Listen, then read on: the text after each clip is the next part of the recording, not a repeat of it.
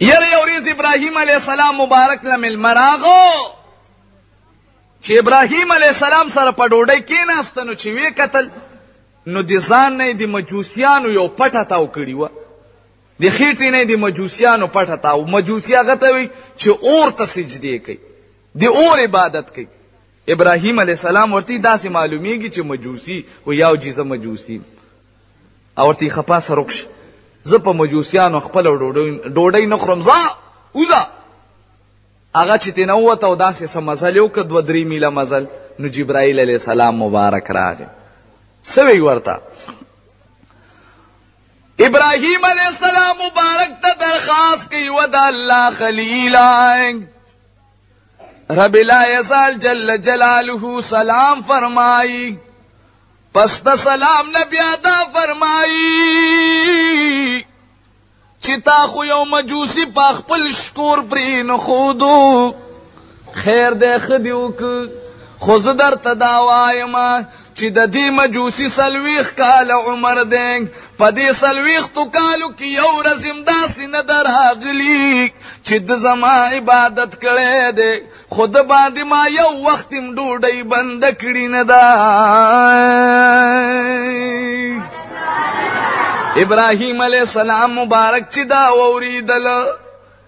یاره هغه پوه شو چې ګنې خداوند کریم راته ویلي ابراهیم علیه السلام مبارک په بلاخ پی د کټ نه پاسېدلو په هغه دشت بیا بال کې ورپسې منډې وهي چې وی قتل یو ځای کې روان دی ورته وی و مجوسیا لرا ده خیر دې ته په مجوسیت کې اوسېګا خرازت نن زما ملمئی بیا هغه ځان په قدر کا هغه نه راتله ورته یې راځه خیر دی څه به یې نه خورم چې څه ډوډۍ د هغه ټوله ته وخوره وایي نه ماله به کور د پاره هم راکې تاله هم کور د پاره دیر کړي وایي ماله به یې کور د پاره هم راکې وایي راځه کور د پاره به هم درله درک یاره چې مجوسي راغه او کېناسته ورته وی جی او خبره درته کوم ډوډۍ بالا خورم چې ما ته به صحیح صحیح الوي وي چې بالکل صحیح صحیح ال درته وایم وایا خو یول دې پس کور نه پرېښودم اوس راله د کور د خلکو د پارم ډوډۍ راکې دا ولې وای چې الله راته ویلي چې سلويخ کال د دې مجوسی عمر دی او په دې سلويخ تو کالو کې یو رزم زما ذکر او عبادت نه دی کړی او په دې سلويخ تو کالو کې یو وخم داسې نه دی راغلی چې ما د تویلې دي چې ډوډۍ زتاله نه دیر کو یاره هغه مجوسی وی ډیر خسته او غیرتی خدای دی نو په هغه شکور وی چې لا اله ابراهیم خلیل الله په هغه دم باندې دا وی چې لا اله الا الله ابراهیم خلیل الله یاره هغه مسلمان شو چې د ملمه د قدر وکنه نو د ملمه سره ته دغه ملاویږي کنه تسلی او آرام ملاویږي کنه او چې ملما در لراشي او ته ورله د کور نم نه روزي نو هغه وی تون نالت په دې میزبان شي چې دا مال روزي نه الله مونږ ټول نیکان کامین وای د حضرت انس رضی الله تعالی عنه مبارک ملما راغی هغه ور سره اجري کې ناس ته आवाज کور ته وکړي ډوډۍ په خکه د لسو بجوټه مودا او ملما راغله چې دله مونږه ډوډۍ تیار کو ا مېلمه به چېرته تلو نو او هغه مېلمه چې وغه حضرت عباده بن صامت رضی الله تعالی عنه یره د لسو بجو ټیم دی ډوډۍ تیاره شوه وینځي ورله اواز ورکړه چې صاحبه ډوډۍ تیاره ده او راځه ډوډۍ یوس خو چې دا کور ته راغی ورته جیا کم رومال کې چې ډوډۍ وړي هغه خیرن شوی دی اوس به څه کوو بیم دا یو رومال دی بل رومال شته دی هم نه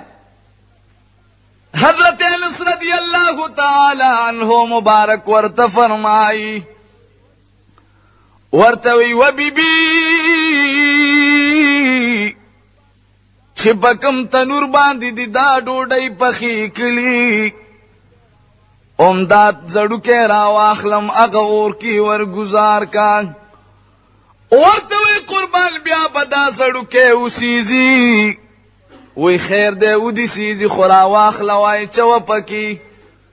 حضرت انس صاحب وینځي هغه رومال رواغشتلو او په بل تنور کې ورګزار کولو سکی ورګزار کړ شکل ورګزار ک دو درې منټه پس راوست نو زړو کې سوي نه دی او بالکل لکه دی بل په شانته پړکی اخیره تین ټول تلې دی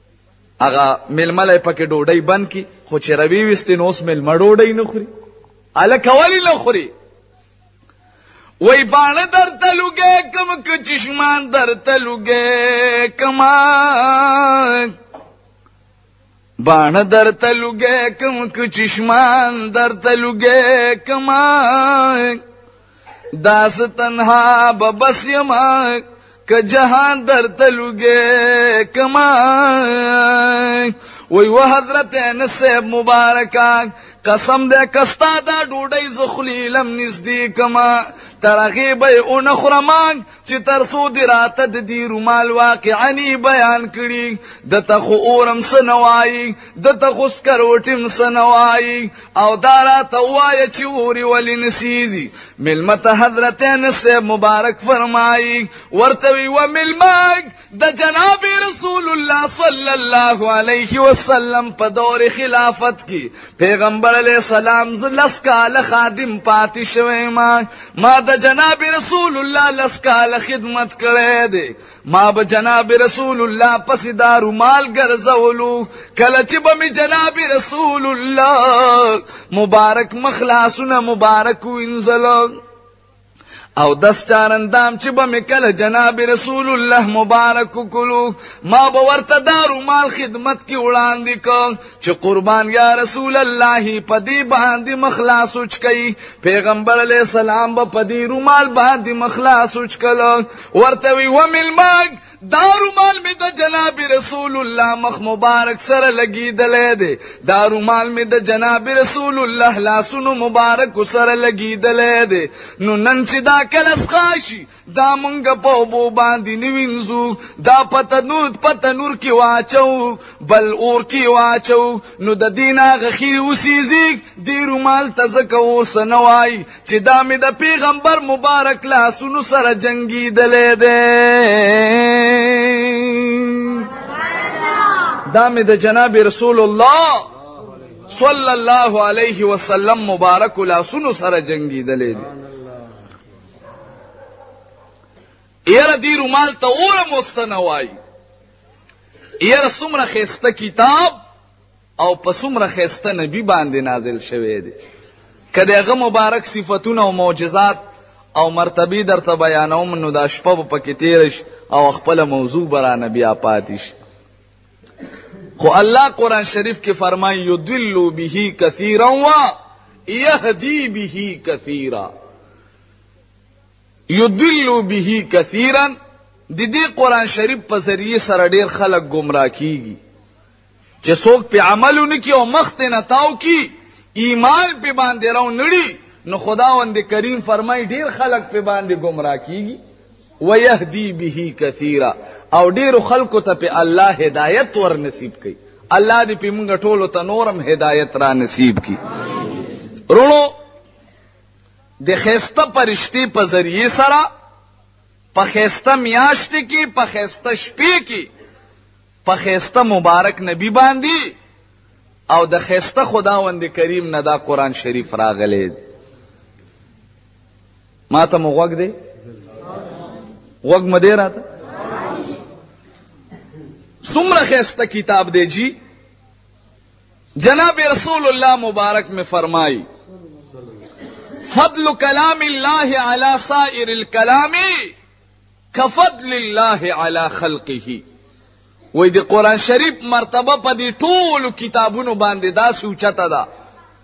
په دې نورو کتابونو باندې دا سوچته ده کفضل الله علی خلقه لکه د الله تبارک وتعالى مرتبه چې په خپل مخلوقات اوچته ده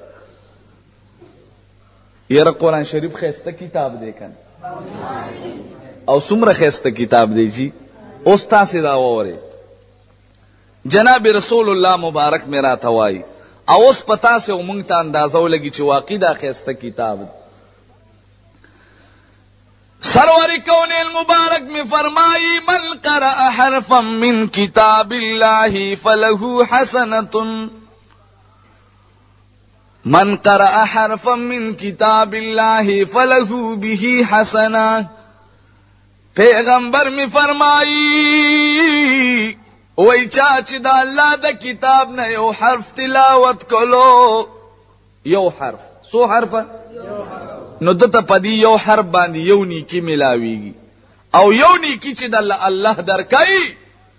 والحسنة بعشر امثالها نو الله تبارک وتعالی تا ته یو نیکی په عمل نامه کې یو پلس حسابي یو پلس باندې پیغمبر می فرمای لا اقول الف لام میم حرف زدا سینوایم چې الف لام میم ځان له یو حرف دی قربان یا رسول الله دا جدا جدا دي محبوب می فرمای الف حرف ولام حرف و میم حرف الف ځان له حرف ته لام ځان له حرف ته او میم ځان له حرف ته نو چا چې الف لام میم تلاوت کده ته دیرش نه کوي ملاویږي سونه کوي اوس علما کرام پکې نورم توسیع او فراحت کوي علماء کرام وی دا الف چې دی نو دا خو د الف علامت ته او د الف خپل نامه چې داغه په دریو ټکو کې دا تعلیم یافته خلک په باندې پويږي چې یو الف دی بل لام دی او بل فی ده لام هم دغه شان ته خپل نامه چې د پدریو ټکو کې دا یو لام دی خلی کې الف دی او بل میم دی او میم هم پدریو ټکو کې دی یو میم دی او بل یی دی او بل میم دی نو د دینه نه ټکی جوړ شو او نو لچ په دس کې ضرب ورکو نو نو دې 90 ته نه جوړیږي نو چا چې یو الف لام میم تلاوت کو د دې په عمل نامې کې علما کرام فرمایي چې لس کم سل نه کوي لیکلی شي سونی کوي اوس حسابو کې چې دا خو د الف علامت ته چې یو الف لام میم باندې لس کم سل نه کوي ملاويږي نو چا چې شپږ زره او شپږ سوه او شپږ شپېته آیاته د قرآن شریف تلاوت که نسیم الله بچي ته به څومره ثوابونه او څومره نیکۍ په عملنامې کې لیکلی شي